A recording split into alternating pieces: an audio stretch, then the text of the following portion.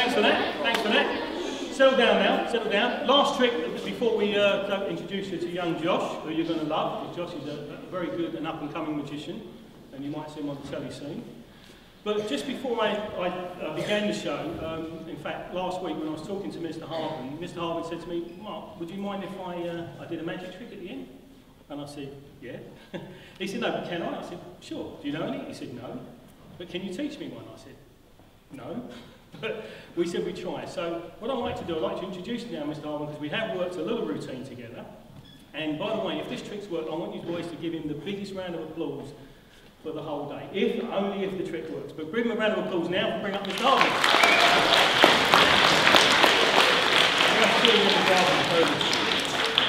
Okay, now, um, remember what we talked about? Yes, indeed. Yeah, okay, so uh, we'll get, get ready to position, Mr. Harvin. Ready? And action. Hi, Mr. Harvin, how you doing? How Oh, good, good to see you. Magic Mark, remember me? I do indeed, yeah. Lovely to see you again after all this time. You won't believe this, Mr. Harvin, but I've only cracked that invention I was telling you about. No, I, I really have. You want to see it? I'd love to see it. You want to see it? Fantastic. There you go. What do you think? What do you think? Hey? Pretty good? It's the world's first, Mr. Harmon, invisible deck.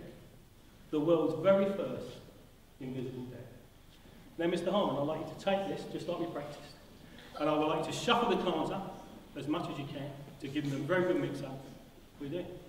Shuffling cards. Take them out of the box first. Oh, I'm sorry. Put the box in your pocket. Thank you very much. Give them a good mix-up. Get rid of the jokers. Now, what I like to do, Mr. Harper, very good. What I like to do, you're getting good at this, by the way. Uh, what I like to go into the crowd now and try and find an intelligent young man. That may take you a little bit of time.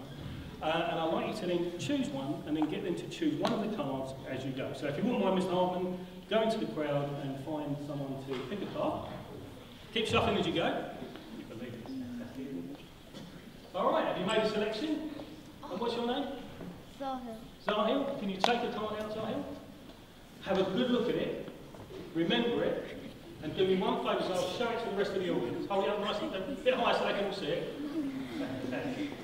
And Mr. Harvey, if you wouldn't mind having the cards in place the wrong way round in the deck.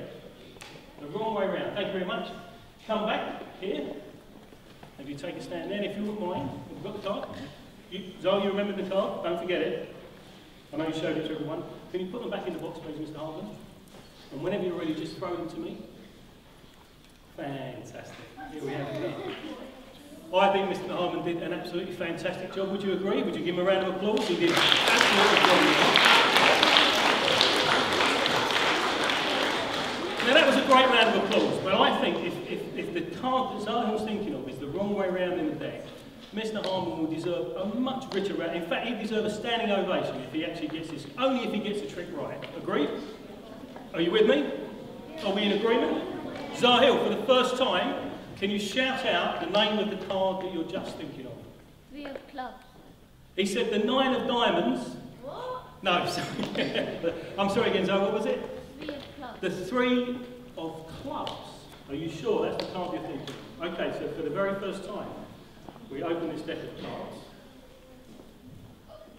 And what I'd like you to see is that the cards are all the wrong way round, except for what type of card did you see? What was Three it? of clubs. The three of clubs, you can see there's one card, it's the wrong way around it. I think you see it on the screen or in front of you here. There's only one card that's actually just turned the wrong way around. If this card is in fact the three of clubs that you're thinking of, though, I think Mr. Harmon deserves a standing ovation. So let's have a look. Are we right? Unbelievable. Well done, Mr. Harmon.